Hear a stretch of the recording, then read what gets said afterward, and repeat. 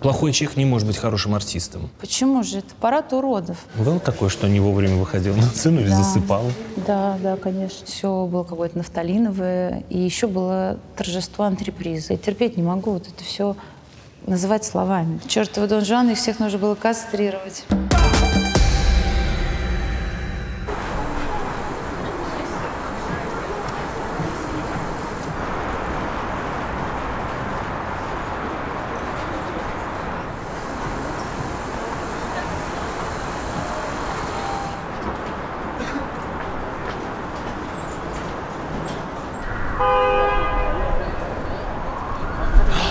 Идет, идет, идет. Ребята. Ой. Хотел сказать, что случайно прогуливался мимо МХАТа. А я тут, случайно... и тут раз, незаметно. и тут раз, и Александра. Странный запах. Как у предательства. В смысле? Мент под прикрытием очень сексуально тебе идет. Да, какое солнце. Нам так повезло. Да. Здрасте. Да, с добрым утром. Александра. Очень приятно, Давид. Ой, боже, какая красота. Это про меня?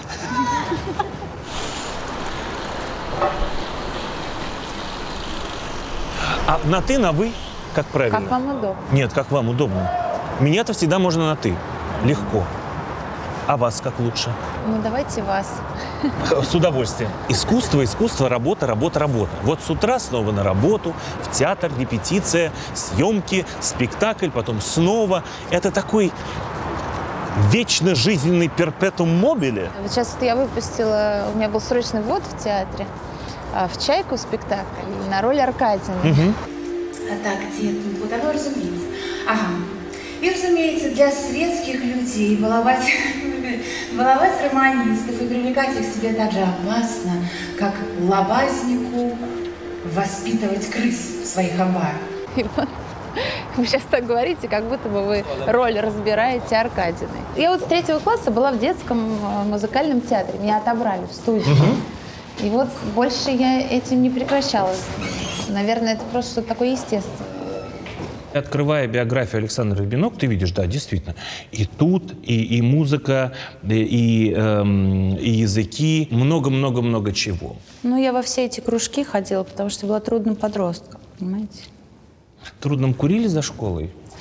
Ну, вообще все было так. И 90-е достаточно сложный период. В нашей стране столько всего нового и интересного. И моя мама очень переживала за меня. Мы жили в спальном районе и максимально обложила меня вот этими художественными школами, музыкальными школами, а, чтобы у меня не было свободного времени, когда от бездействия и скучности, да, проведения времени, ты начинаешь экспериментировать и что-то там искать, приключения. И как, как ни странно, и как ни удивительно, это действительно оказалось то, на что можно было опереться.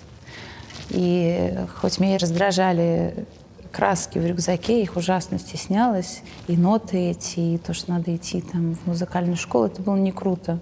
Ну, круто было плохим быть. А что стало триггером? Вот раз вы сказали, и все изменилось. Я поступила в институт сама. Я не сказала родителям, и начала сама туда поступать. Я поступала два года в театральный институт и поступила в результате, и, и моя жизнь изменилась.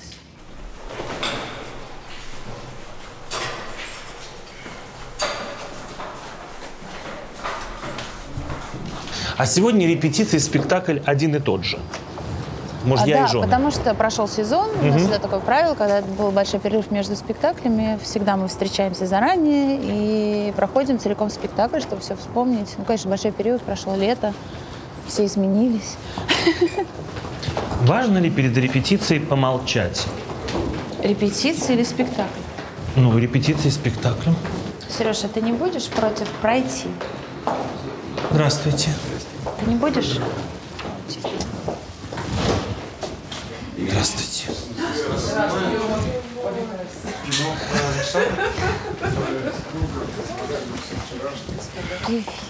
Здравствуйте. Вот здесь вы сидите во время спектакля. Да, называется актерское фойе. Никогда Мы смотрим по телевизору, как идет спектакль. было такое, что не вовремя выходил на сцену или Да. засыпал, Да, да, конечно. Это ужасно страшно. Как с криком «Это я!» Ну нет. Ну, ужасно. Я один раз пропустила свой выход. И Нет, как? просто ну, сразу выходит следующий. Ну, как-то... Ну, здесь шум стоит, конечно. Ольга Михайловна, а можно вот с Сережей пройти или какое-то начало? Пожалуйста. Это Ольга Михайловна. Это наш Здравствуйте, Ольга Михайловна. помреж. И вообще наш хранитель. Прекрасно. Ну что, давай тогда Давай, пока их да, накроем. давай. Привет, Селя. Привет. Добро пожаловать в мое скромное жилище. У тебя очень мило, мне нравится. Что-нибудь выпьешь? Да, пожалуй. Извини, можно я позвоню? Да, конечно. Ты в порядке? Да, да. Просто. А это я от радости. На-на-на-на-на-на-на. Боже, какой же ты лгун. Что случилось? Нет, все в порядке. Нет, если тебе У неприятно, меня то все очень хорошо. Я хочу провести этот вечер с тобой. Куда мы идем? На оперу Дон Жуан. М, Тот самый Дон Ну, Жуан. Я написал гениальный Моцарт. Чертова Дон Жуан, их всех нужно было кастрировать. Как вы, хорошо? Здравствуйте. Что это значит? Программа хорошая. Откройте Давид называется. И такая видимость страшная, как. Со всех сторон заколдовали. А как же без этого? Вы должны были как-то обратить внимание на отцов-основателей, которые вас встречают, когда вы заходите в театр. Это благодаря кому этот театр есть, был и будет. И неважно, кто приходит и уходит. Он сам по себе живет своей как бы жизнью, эти мистические три буквы МХТ. Мы, актеры, идем туда всегда. Мы заходим записать гостей к администратору, которые к нам придут на спектакль. А дальше мы идем в гримерки, это вот наш ход. Но сюда идут приглашенные гости особого значения.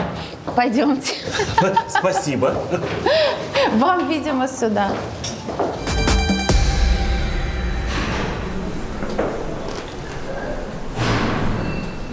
Каково это, когда вы проходите по галерее и видите свою фотографию? Вообще, конечно, для меня это было большим значением, каким-то переворотным моментом в жизни. Вообще, в целом, приход сюда и то, что меня приняли в труппу. И я точно могу сказать, что жизнь, это точка невозврата, что она есть жизнь до и есть после. Я пришла на пробы, меня пригласили сюда, в театр, на пробы э, Карамазовой м, на роль э, Лизы Хохлаковой. И я пришла на служебный вход, как мы с вами встретились. И была Роза Хайрулина, Константин Юрьевич, я, мы сели в аудитории на пятом этаже, и меня попросили прочитать текст, но не Лизы Хохлаковой, а Грушинки. Я прочитала, и я сказала, да, хорошо. Ну, только, только, пожалуйста, ничего, вот просто прочитайте. А я же 4 года театра только. А на самом деле, ну я шучу, но с другой стороны, я сразу поняла, что, что он хотел в ту секунду. А самое классное было, что я увидела Розу, а с ней я познакомилась как раз тоже в горе театра ДОК на новой драме. Мы ездили в Любимовку, это вот места Толстого. Все, я прочитала, мне сказала, что ничего не может пообещать, но вот будет делать Сорокина, Настю. И, наверное, он меня пригласит. Мне никто не позвонил. Да, мне не позвонили, не позвонили, но потом позвонили вдруг, сказали, приходите вот еще раз, значит, поговорить. Ну, я начала ходить сюда на репетиции. Вообще все, что касается профессии, это мой личный диалог с собой, с профессией. А что-то говорить как-то вслух, мне кажется, это либо ты превращаешься в Аркадину в этот момент, либо все это пафосно, как-то натужно и очень театрально, на мой вкус. Тогда пойдемте поговорим о жизни. О жизни, так о жизни. Вон можете снять, какие у них золотые носы. Зрители трут носы, загадывают себе желания. Какие-то абитуриенты, студенты. Есть у нас такие блестящие носы. Вот наша жизнь каждого человека, она делится на определенные контрапункты. Если мы говорим про детство, я так понимаю, что изменили краски, музыкальные инструменты, поступление в институт. А дальше, были ли, вот сколько было этих контрапунктов, которые позволили пересмотреть жизнь или, может быть, эм, найти своего режиссера, свой театр, свою киноработу, то, что позволило вот подниматься выше, выше, выше на ступеньки? Ну, первое, наверное, это была встреча, была встреча с Угаровым. Это был театр ДОК. Михаил Дурненков. Синий слесарь. Номер первый. Концерт.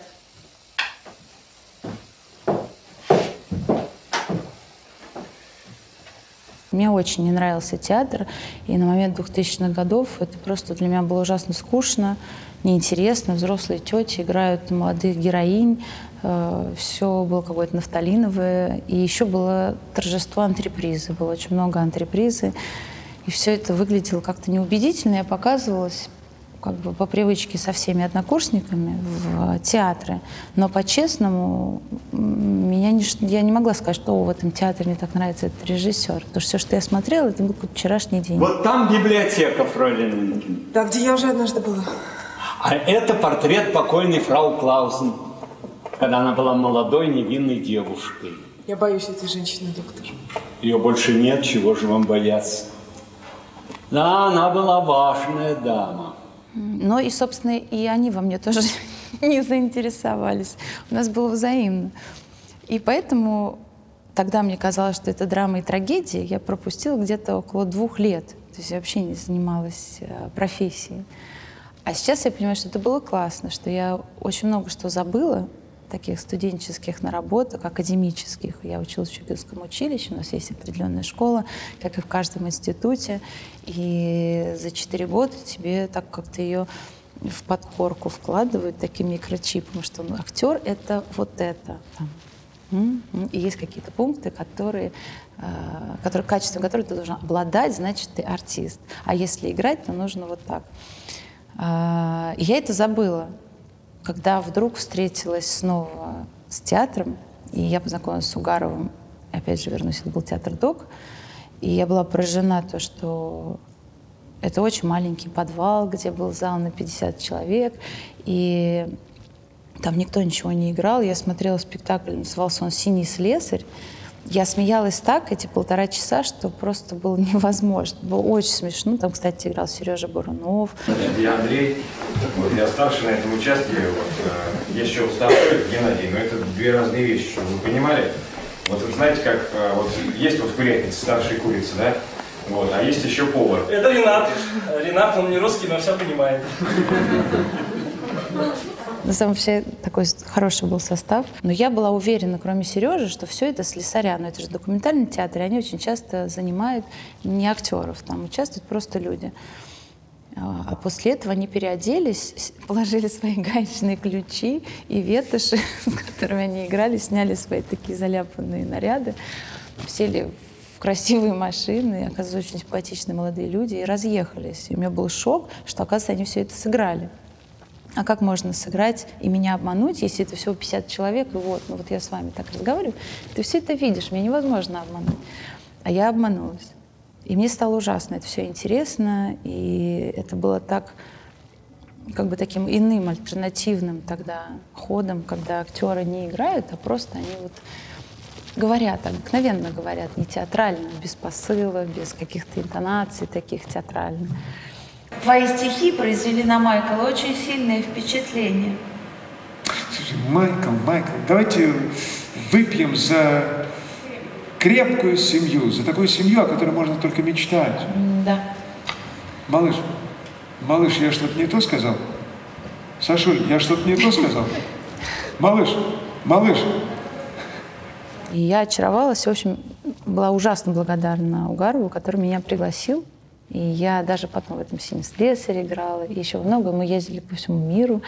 И там я познакомилась с огромным количеством людей, э, режиссеров, драматургов, э, там, сценаристов. Сейчас это все успешные люди, и все их знают. Тогда это было такое авторское кино, как это артхаус, такой немножко ругательное понятие.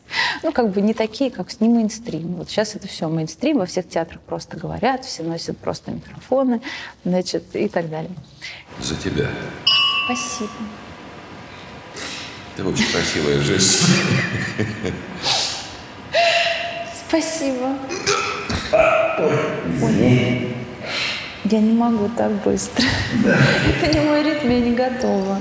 Да, да, да. Мне ни, ничего не было. У меня давно.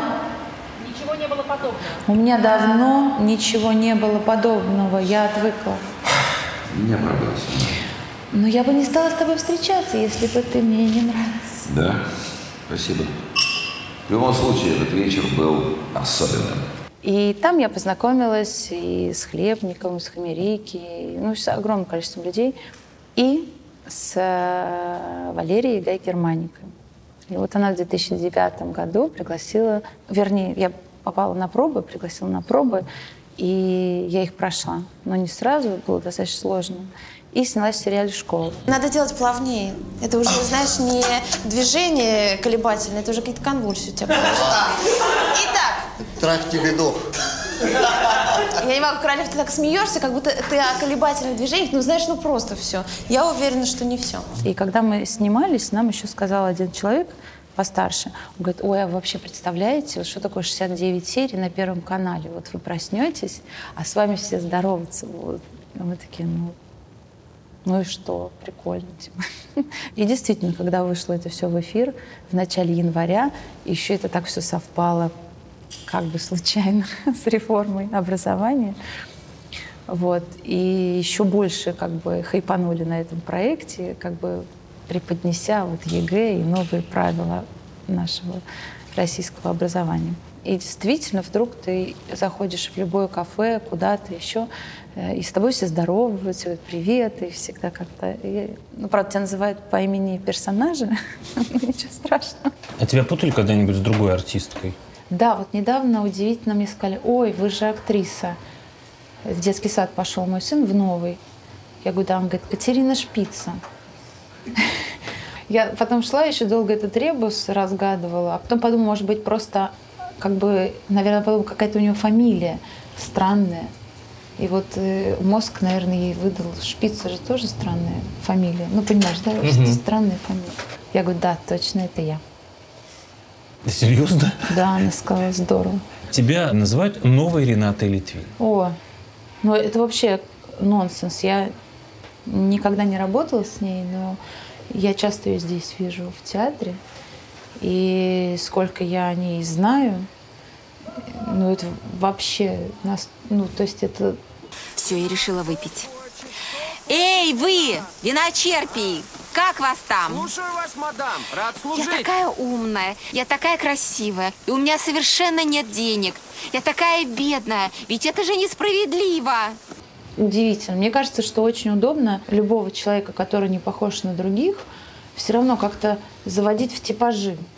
со стороны, если ты обладаешь какой-то там индивидуальностью, там, внешней или еще какой-то, очень удобно вспомнить кого-то, кто уже себя реализовал, вот, и сразу тебя причислить, бы, ну, короче, как-то тебя все равно понять и отнести в какую-то колонку, так удобнее.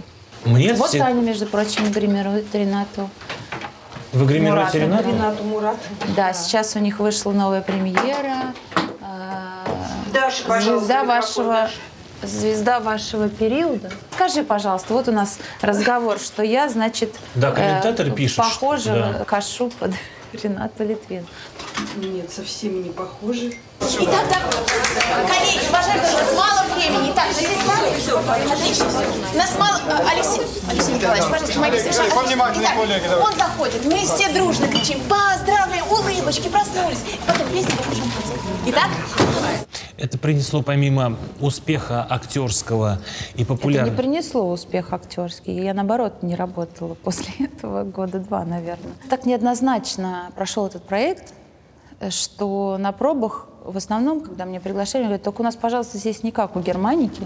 Нам тут не надо вот э, как будто вот док-театр, вот это все. У нас тут серьезная драматическая история. Что у меня классическая школа. А вторая была история, что я без образования, что я просто человек. Но для меня это был высший комплимент вообще, потому что, имея классический прополощенный мозг четырехлетним образованием театральным еще в 99-м все-таки я поступила еще совсем того театра, который на показ, вот показать свой ассортимент и удивиться, и там заплакать, и засмеяться.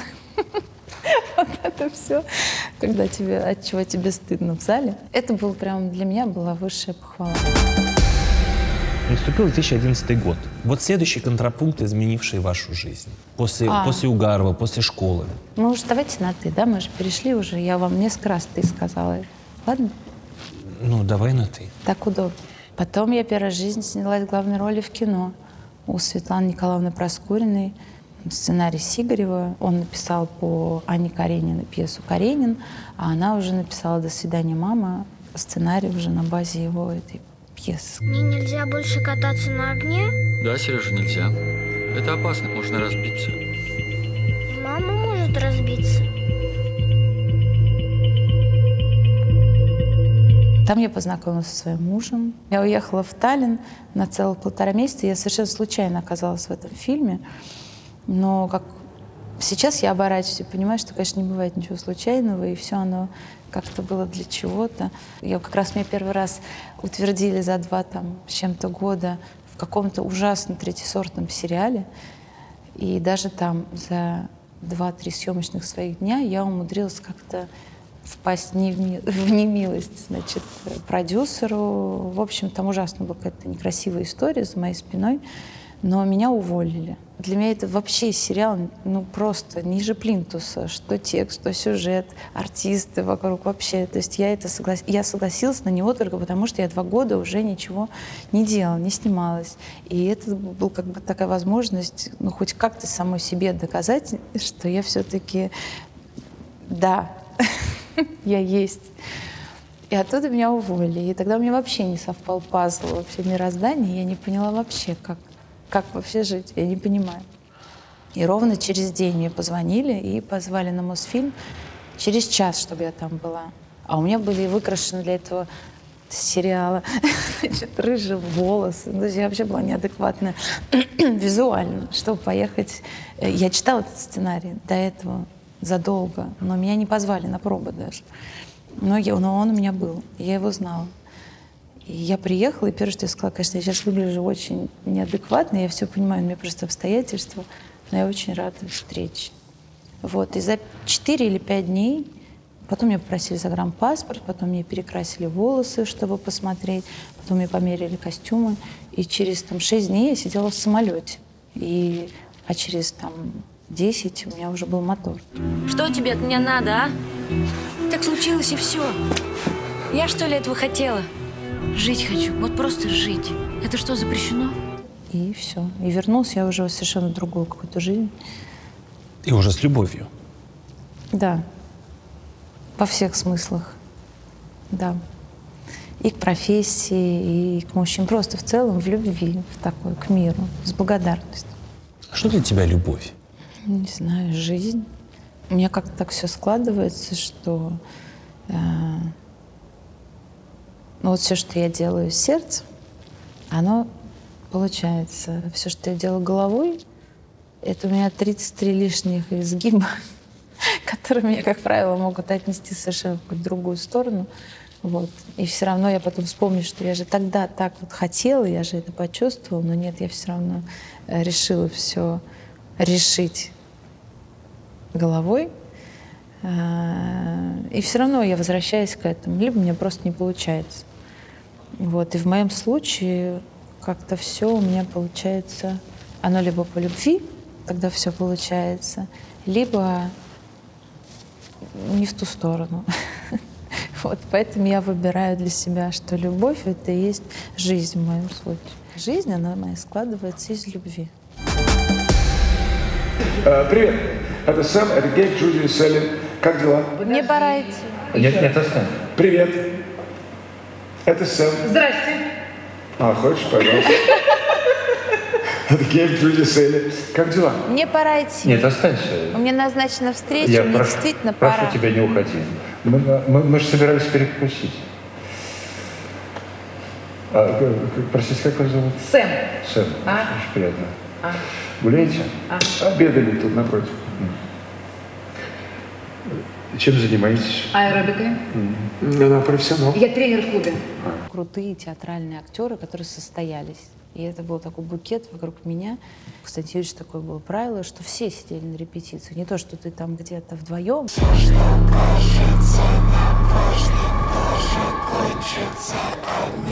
Это была катастрофа. В общем, встреча с собой, пребывание в моменте. Ну, когда я просто поняла, что я как, как актриса, на самом деле, вообще ниже плинтуса, вообще стоящая только в прихожей по сравнению с тем, вообще как люди, как они относятся к профессии, как они репетируют, как они вообще существуют.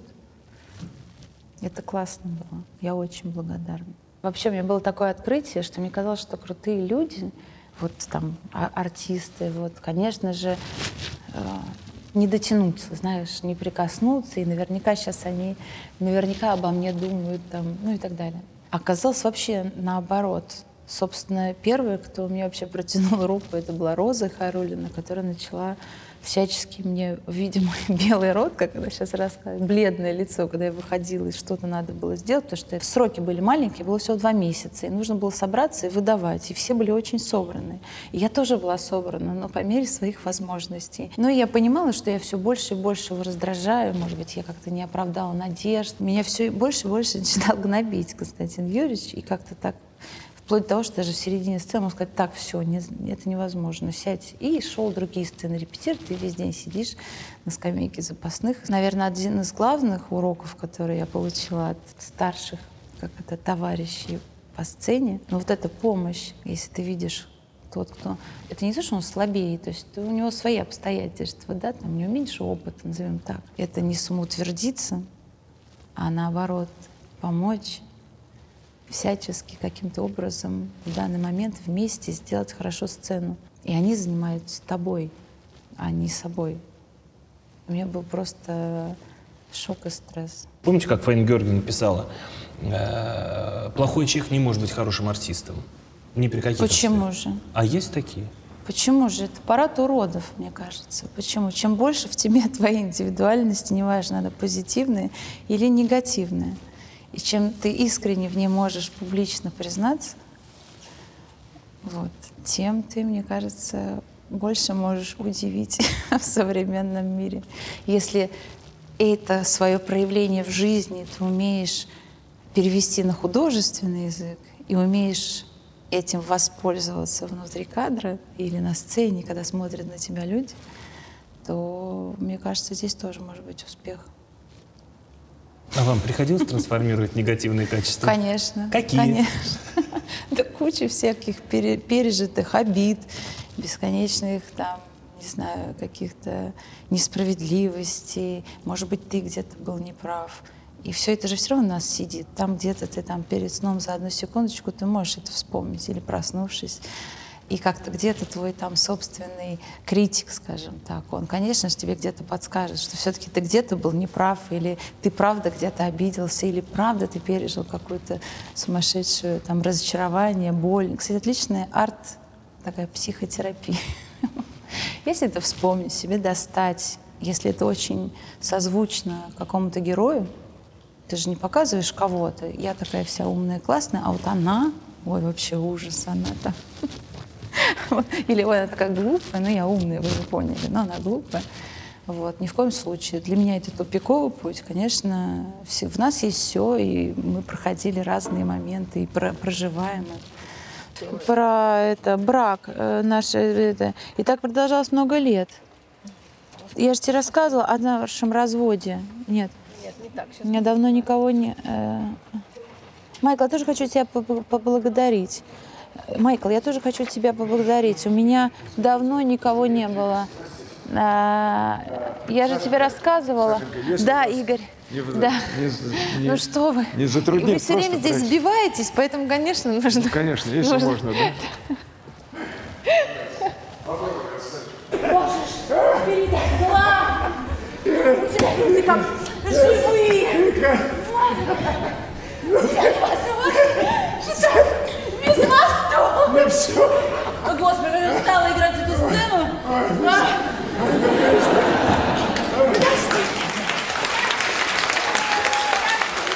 А, ну как ты, ну как ты, кто ты? Давай чуть-чуть мизансцену, вот, вот здесь. Вот. Не надо, это более крупный план. Ну, Так что ты рассказывай? Как ты отдыхала? непринужденный разговор, да? Я хорошо, хорошо. Да? Мгм. Что сказали по поводу чайки, Чайки? твои знакомые? Очень понравилось. Саша, я тебя поздравляю. Серьезно? Спасибо. Ты знаешь, да? Да, ну это вообще. Сколько репетиций было? Две. Ну как, ну две и плюс, да. И плюс ты. Крохи какие-то, знаешь, там по пол. э, Пипец, нет вообще.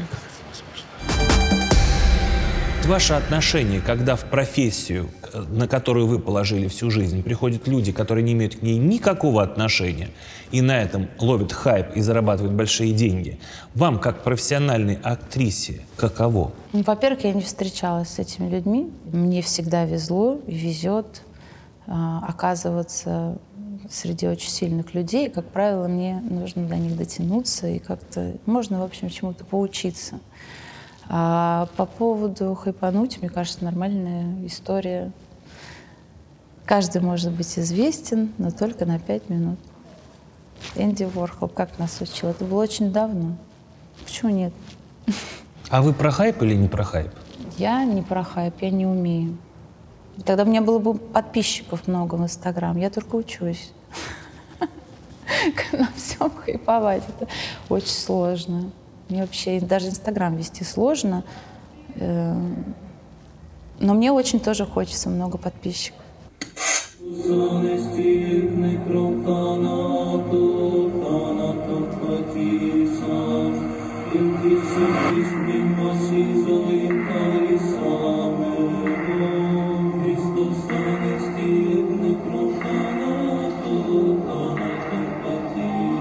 Христос воскресе из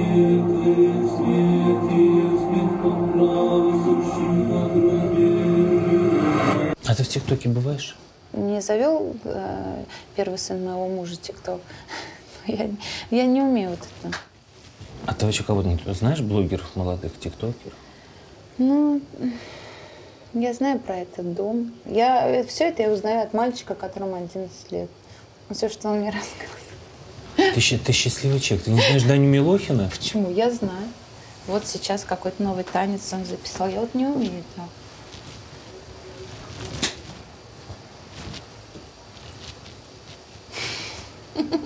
А, я, это, это пантомима, я знаю на какую песню. Макароны, макароны с кетчупом, с кетчупом. Да-да, вот под эту песню. Вот да? видишь, мы друг друга понимаем. Просто нам 11 лет на двоих. Сегодня сложилось не- неоднозначное отношение к актерской профессии, потому что считают, что это, ну вот или совсем есть вот нищие, или совсем богатые. Тогда, 12 лет назад, все-таки было немножечко другое отношение. Ну вот вы же тогда, когда пришли в театр ДОК, видя, на каких красивых машинах уезжают артисты, у Да. вас же не было этой красивой машины на тот момент, правильно? Вы же, наверное, понимали, хотели... Да, вот, верно, я приехала на мопеде. Я на мопеде ездила, мне очень нравилось. Хотелось в тот момент, ну, помимо того, чтобы реализоваться, стать народной артисткой России, при этом еще иметь тоже там вот такой вот люкс РДС. Ну что же хотелось? Все хотят быть богатыми и знаменитыми. Потому что все в этом признаются, а кто-то нет. Вот эта работа большая, когда она популяризировала имя Александра Ребенок, оно принесло финансовое удовлетворение. Но я не думаю, что я пришла за богатством. Вот. То, что действительно, когда ты начинаешь сниматься, и театр все-таки это не то место, где ты зарабатываешь. Театр это то место, где ты как раз работаешь над собой. Это как тренажерный зал для актера. И я считаю, что это без театра невозможно быть э, в кино. Потому что кино ты должен выдать сразу результат, никто с тобой репетировать не будет, аж в сериале тем более. И там серьезные нагрузки, много сцен в день, огромное количество текста. Кино, сериал, это действительно ты там зарабатываешь. Это, но так как я зарабатываю только в своей профессии, у меня больше нет других вообще, в принципе. У меня нету ни кафе, ни магазина, ни бренда духов. Пока. Пока. Хорошее уточнение. Пока. А, Поэтому, конечно, максимально ты должен понимать, как. Ну, я, кстати, себе в определенный момент в жизни так поставила. Проснулась и подумала, эм, нет, я попробую научиться зарабатывать только своей профессией. А как насчет того, о чем не принято говорить, о сексуальных проблемах, например? Ну, эти проблемы у нас никуда не исчезли. Их очень трудно отдалить, и с ними приходится мириться. Иногда кажется, что все проблемы позади, но тут они возникают снова. Да, и это очень давит на человека, как бы странно это не показалось. Так будет? Да, у нас часто бывает там завязка. Так что же? Отличная атмосфера. И это возможно все сочетать, и коммерческую сторону, и творческую. Даже проекты, они делятся все равно, что-то тебе дает для репутации, для твоего какого-то роста актерского, а что-то тебе дает для какой-то популярности, там, э, материального какого-то хорошего фундамента, для того, чтобы потом опять например, поработать а, больше над собой, вступив в диалог с своей профессией. Мужья и жены. Спектакль, который сегодня будет идти. Готовясь к этому спектаклю, э, понимая, что это глубокий психологический и психический процесс, что-то помимо актерской работы помогал, ну, не знаю, может, ты перечитывала Бехтереву, э, Черниговскую, там, не знаю, Юнга. Давно-давно такой вопрос существует. Нужно ли в образовании актерском все-таки такой предмет, как психология? И да, и нет. Я, наверное, больше за ощущение. Не анализ, вот, э, разбор чувственной да, природы, анализируя его как психолог. Вот это не мой подход. А, ставить диагноз. А скорее мне интересно поймать то ощущение, от ситуации или от э, двух там, или от персонажа, от человека. И вот из этого ощущения какого-то правильного я могу построить роль. Я терпеть не могу вот это все называть словами. Как только ты называешь словами, все твои ощущения и вот это то неуловимое, тонкое, когда ты знаешь, ты это чувствуешь, ты знаешь, но ты назвать это не можешь. Как только ты это называешь словами, оно становится тяжелым, банальным, это можно повторить, это можно выполнить как действие или там еще что-то. И оно теряет свою вот эту вот неоднозначность и едва неуловимость. Понимаешь, вот когда тебе постоянно надо его поймать. Нет, Игорь, и это очень сильно давит на человека. Все. Просто, да? Да. А, давай. Давай. Но, э, иногда кажется, что все проблемы позади, но тут они возникают снова. Да. Да, это очень давит на человека. Но человек с ними смиряется и делает вид, что их не существует. Да, это очень помогает, как бы странно это не показать. Да невозможно подчинить себя каким-то абстрактным понятиям о любви, браке. В жизни бывает всякое. И, конечно, нужно очень хорошо просто понимать, что происходит. Ну, просто по сути, по каноническому, классическому разбору, что происходит. Ты очень хорошо должен знать. Когда начинается вот эта вот э, постановка диагнозов, ты уже как бы сверх над своей ролью, понимаешь? Ты уже как бы я умнее, я, ага, я понял, она, все, у тебя уже к ней или к нему о ком-то рассказываешь. Уже какое-то есть такое расстояние, и как вот, как ты психолог, а вот у тебя пациент, твой персонаж. Мне неинтересно так. Ну, уже, понимаешь, да, какая-то вот дистанция. А ты, кстати, никогда не пробовала с голливудские роли? Нет, я пробовала в европейские какие-то проекты. И это был немецкий, и один раз э, к французам у меня был кастинг. Но они все равно решили взять свою актрису, которая играла. Ну, это, как обычно, русский шпион. Вот. Там оба сюжета были такие. Но я очень надеюсь, что этот э, лед тронется. Мне кажется, сейчас начинается какой-то тренд на русских актеров. И все больше и больше к тебе начинает обращаться. И как-то... И вот благодаря видеоплатформам и пандемии, когда э, совершенно не было возможности каких-то кинотеатрных премьер, и в этот момент здорово выстрелили видеоплатформы. Все международные. И все начали смотреть там и сериалы, и- Мгм. и, премьеры стали такими же, но сидя дома. И также все ждут все новые серии и так далее, если это сериал, а не кино. Вот. А уже этот формат как раз предполагает абсолютно спокойно такой синтез международный. Если говорить про голливудского режиссера, у кого бы ты снялась? Я поклонница давняя Тарантино.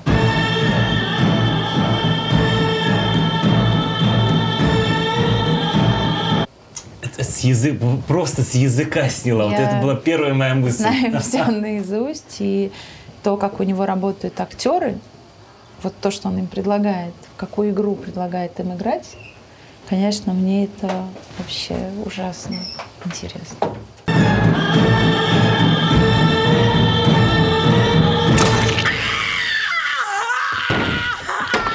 Супер постмодерн, и вообще это вот для меня, наверное, кино и вот сама формула существования артистов в современном кино а, вот у него. А к российским режиссерам каким бы пошла? Помимо Константина Юрьевича. К Байкову бы пошла? С Байковым я знакома, и тогда я выбрала театр док, а не театр практика. Мгм. Хотя мне туда тоже предлагали. А, Просто это не совсем мой театр.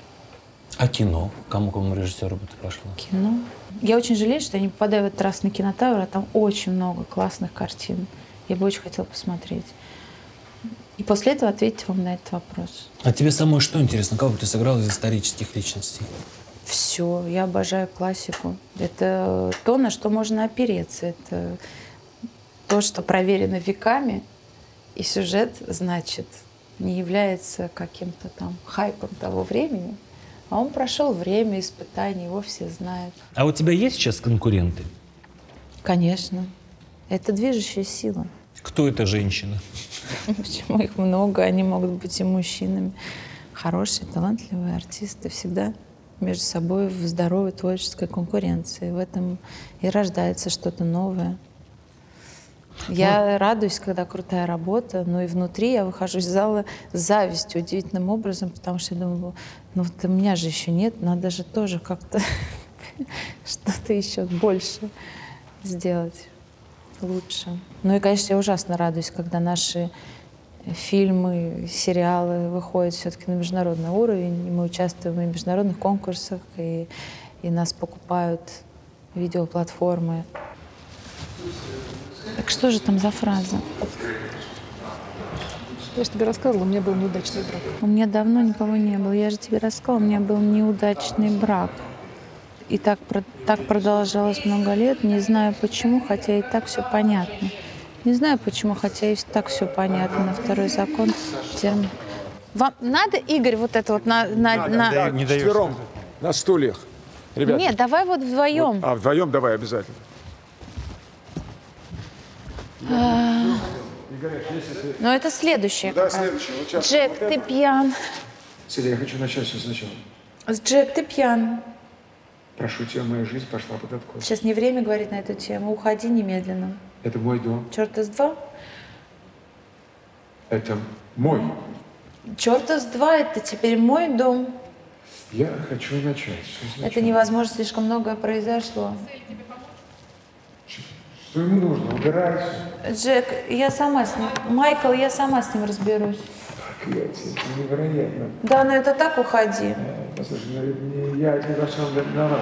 Мы оба заварили эту кашу. Я никогда не говорила, что во всем виноват ты. С тобой невозможно Спорить, жить рядом. С меня все время втаптывала грязь. А это я уже слышала. Ну, невозможно спорить. Невозможно. А что мне еще оставалось? Наш брак состоял из одних проблем, мы были оба в этом виноваты. Но ты лгал мне, ты лгал, ты мне изменял. Нет, мы давно разлюбили друг друга. Тише, в доме посторонний. Он обо всем знает. У меня просто не было другого выбора. Ты мне ничего не оставила. Я не собираюсь сейчас это обсуждать. Уходи, завтра тебе будет лучше. Завтра я буду себя чувствовать полным ничтожеством.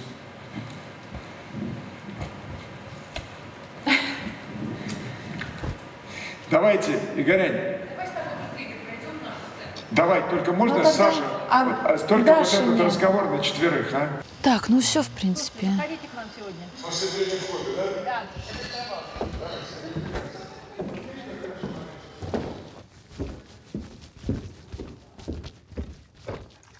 Чего ты никогда не позволишь себе сделать в жизни?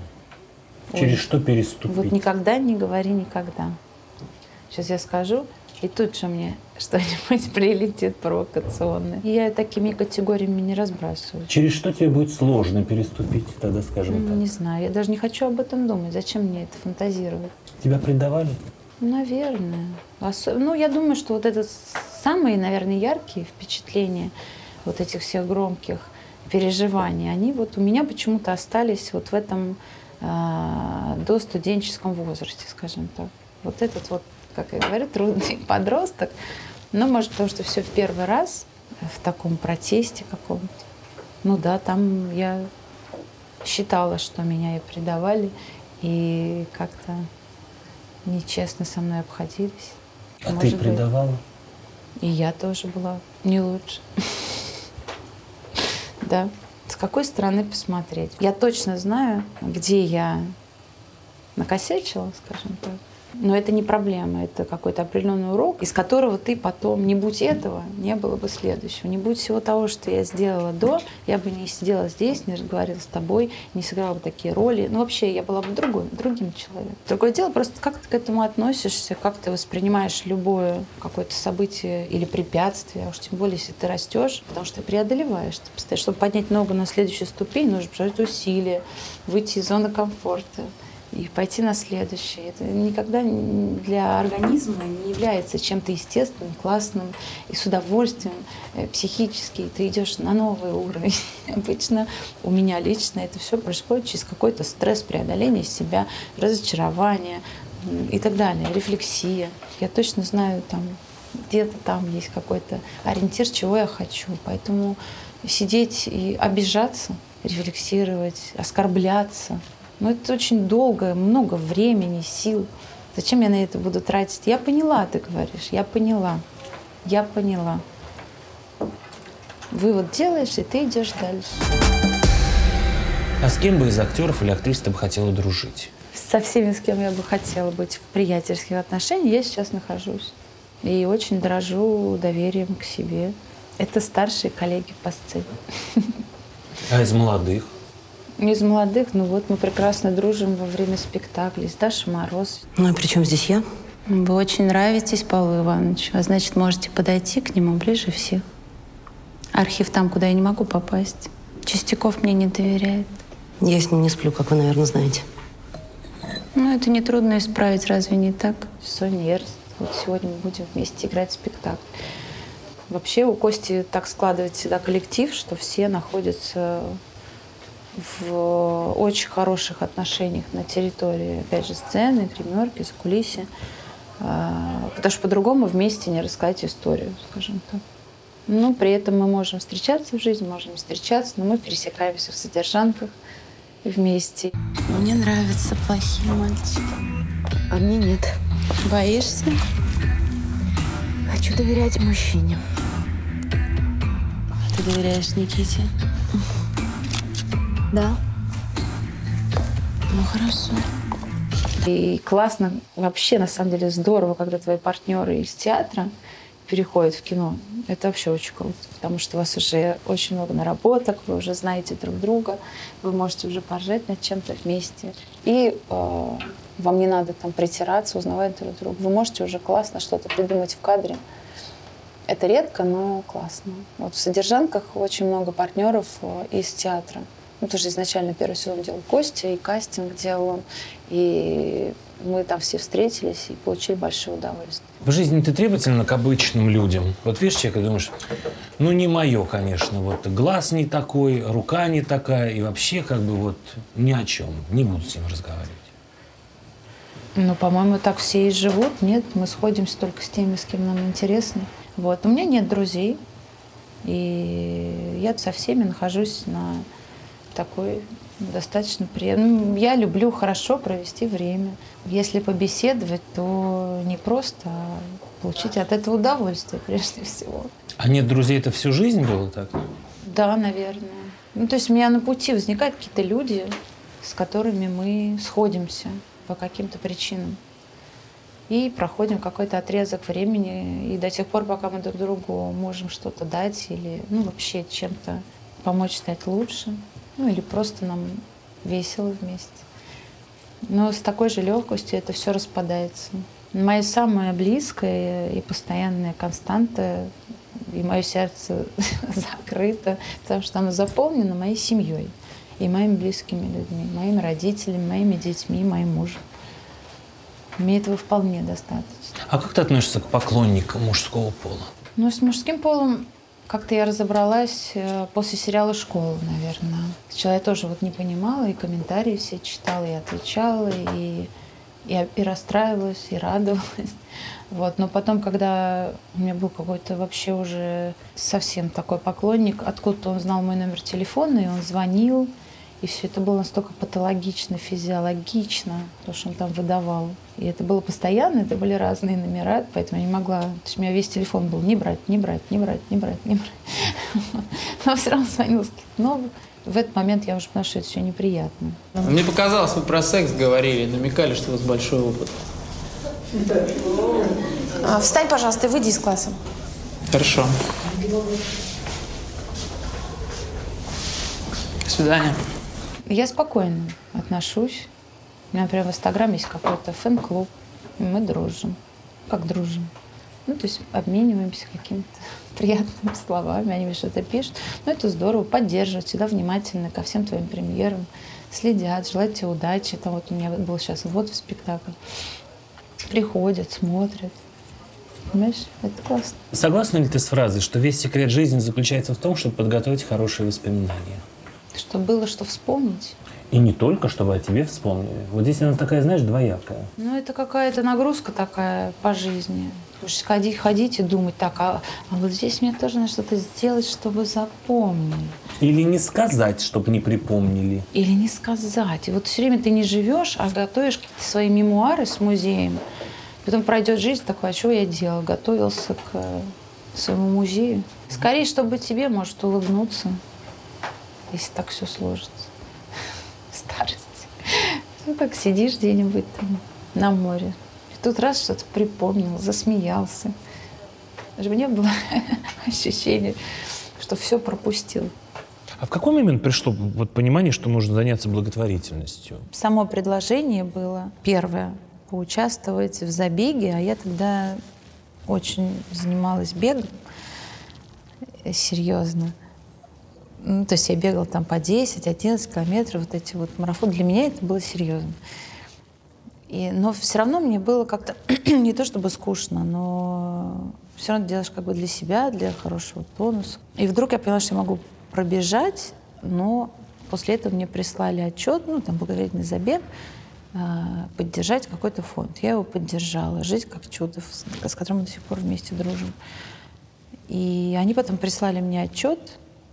Вот мы заработали, вот это, вот такой-то мальчик сделал такую-то операцию, и мы так рады, спасибо тебе большое, что помо- помогла закрыть вот, этот, э, вот этого ребенка. И я сижу, думаю, я же ничего не сделала, вообще ничего. Все, что касалось благотворительности, мне казалось, что это очень серьезная история. Ты должен быть состоятельным человеком или очень влиятельным человеком, или очень супер-мега известным человеком. Тогда ты реально можешь и пойти к президенту, или ты можешь э, построить больницу, что-то решить конкретно, действие. А что вот так ты, оказывается, можешь тоже помогать. И мы подружились. А самая главная проблема у фондов — это на мой вкус, что к ним нет доверия, что все время кажется, что эти деньги, они идут на зарплату, они идут там туда, на, на. Вообще, благодаря там двухтысячным, это просто отмыв какого-то, значит, бабла и так далее. И что вообще до детей, дети как прикрышка, значит, совершенно других дел. А я знаю, что наш фонд конкретно занимается детьми. Я знаю, у меня на почте каждый месяц отчет э, до последней копейки, что произошло, что сделали, куда мы идем, растем, какая сумма сейчас нужна, чем мы занимаемся, что есть горячий ребенок, есть такой ребенок, есть такой. И я понимаю, что я могу помочь вызвать доверие этому фонду, потому что он, во-первых, для меня точно проверенный. Я точно знаю, чем все, все занимаются. Я вот, ну, могу отчитаться за каждую минуту нашего офиса, который занимается всеми этими делами. И мне стало это интересно. Я подумала, наверное, в таком формате помочь вернуть доверие, репутацию. Как ты считаешь, хайп может быть на благотворительности? Моргенштерн жертвует 666 тысяч на ребенка, потом рассказывает, что это был хайп. Я не знаю, с хорошим ли посылом он делает или с нехорошим. Мне все равно. Я понимаю, как человек, который э, ну, в адеквате и с образованием, и с мозгами, я понимаю, что так делать нельзя. Это же, по сути, уничтожает то, что делаешь ты. Ты пытаешься привить доверие к фондам, а люди Ну это да. разрешают. Неприятно. Но здорово, что опять разговор на тему благотворительности. Это же снова поднимается. Я не думаю, что это его как-то характеризует с лучшей стороны. Ну, я не знаю. Но я терпеть не могу, что хорошо и что плохо, и грозящий пальчик из, со сцены или телевизора. Ну, я терпеть это не могу. Это сегодняшний день. Для тебя существуют нерукопожатные люди? Нет, не существует. Я, в принципе, не жму руку при встрече. Я не целуюсь. И не обнимаюсь, я это терпеть не могу. И очень рада пандемии ее новым правилам, что не обязательно сразу, даже если вы не знакомы, целоваться.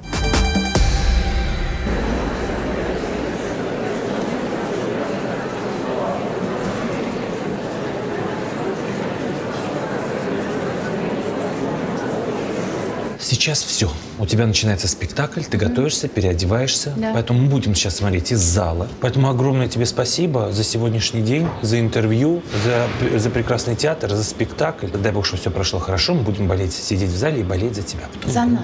У нас все-таки спектакль. У нас там нет главных ролей. но Хорошо. Хорошо. А можно вот...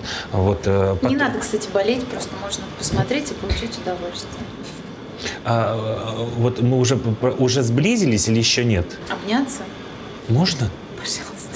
Спасибо тебе большое. Огромное тебе спасибо. Взаимно. Было приятно познакомиться. До встречи. Взаимно. До встречи. Идем в зал. Да. Цветы ты уже подарил?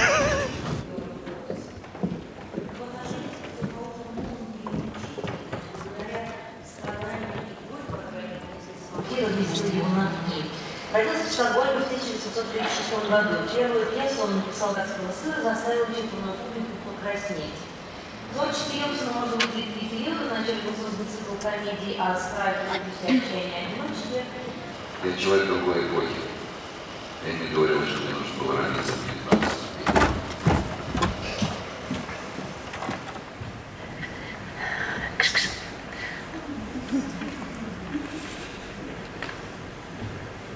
Как тебе концерт? Музыка была просто волшебная. Вообще-то я не люблю Малера, но эта вещь была ничего, терпима. Заключительная часть немного затянута, мог бы сделать ее покороче, а вторая часть мне понравилась эмоционально. Это одна из самых трагических музык, которые я знаю. Да уж, дирижер просто из сил выбился. Во-первых, это изначально Вуди Аллен. Во-вторых, этот сценарий поставил Костя Богомолов, Константин Юрьевич для меня. Это уже не может, это уже ну, не предполагает каких-то, наоборот, отклонений от себя, предполагает тотальную самоиронию, циничное отношение, в принципе, ко всем этим переживаниям. Ну и бесконечное размышление на tему отношений между мужчинами и женщинами, особенно если они становятся муж и жена. Non se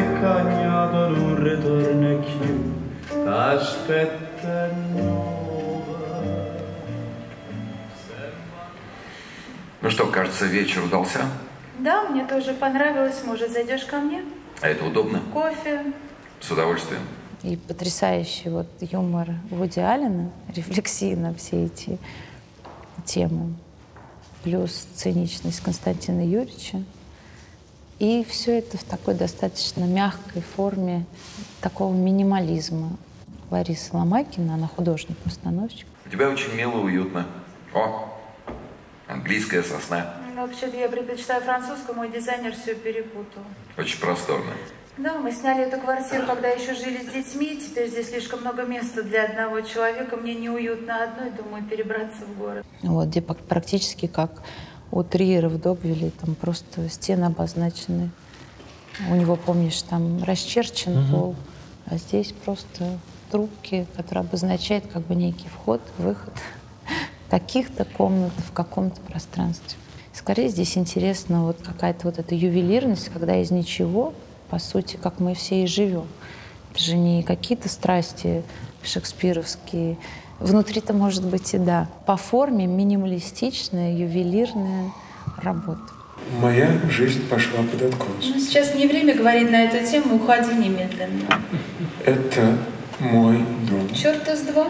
Мой. Черта с два, это теперь мой дом.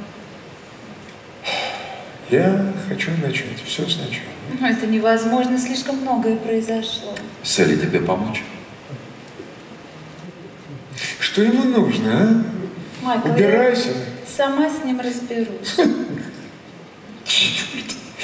Черт, это проклятие какое-то. а. Ну Да, но это так уходи. Ну, под- Подожди, ну послушай, ну не я же один во всем виноват. Мы же оба заварили эту кашу. Но я никогда не говорила, что во всем виноват ты.